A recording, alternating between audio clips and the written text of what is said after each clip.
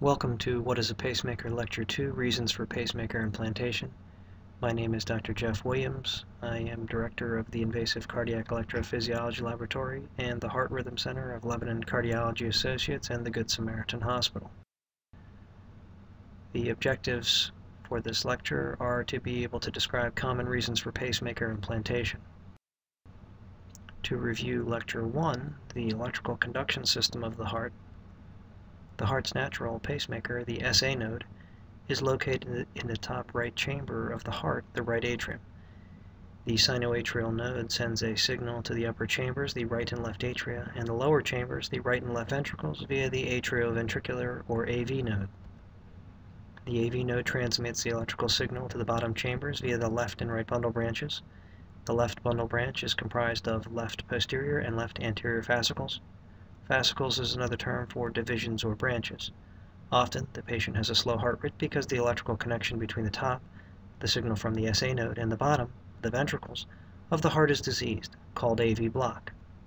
The most common type of pacemaker involves placing leads in the right atrium and right ventricle.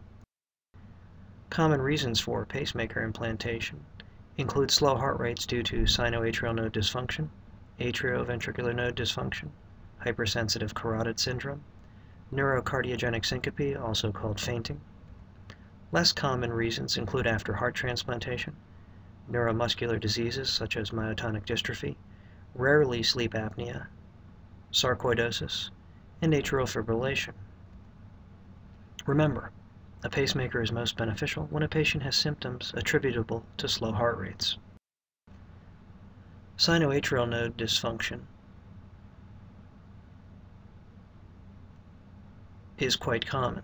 The sinus node is the heart's pacemaker or metronome. As patients age, the pacemaker may beat too fast, and this can be treated with medicines that slow the heart rate. More often, however, sinus node dysfunction can cause the heart to beat too slowly. A patient can be symptomatic because the heart is beating too slowly. This is called symptomatic bradycardia, or does not beat fast enough during exercise, called chronotropic incompetence. A pacemaker can be used to reestablish a normal heart rate. Atrioventricular block refers to conduction delay between the top, the atria, and the bottom, ventricles, chambers of the heart. There are several different types of AV block, and these include first degree AV block, second degree AV block, and complete heart block. Third degree AV block, also called complete heart block, occurs when the electrical connection between the atrial and ventricles is disrupted and the chambers beat independently with no electrical connection. Most often, third degree heart block requires a pacemaker. The EKG shown depicts the atrium, or P waves, beating at 80 beats per minute, and the ventricles, the QRS complexes, electrically disconnected from the atrium and beating independently at 35 beats per minute. This patient successfully underwent a pacemaker implantation.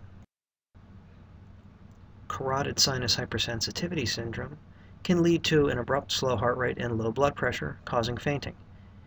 It can be associated with 40 to 50% of the falls in the elderly. Pacemaker implantation in patients with carotid sinus hypersensitivity is usually effective at relieving symptoms. The EKG shown rep represents an 82-year-old female with a history of falls that was admitted to the hospital after recurrent unexplained fall, causing a hip fracture this time. Her workup is normal, but a carotid sinus massage results in an approximately 8 second pause on hospital telemetry as shown above. She undergoes pacemaker implantation and experiences no further falls. Want to learn more? What is a Pacemaker, a cardiologist guide for patients and care providers, is available in print and electronic versions at Amazon.com. See more lectures at heart-rhythm-center.com. Thanks for listening.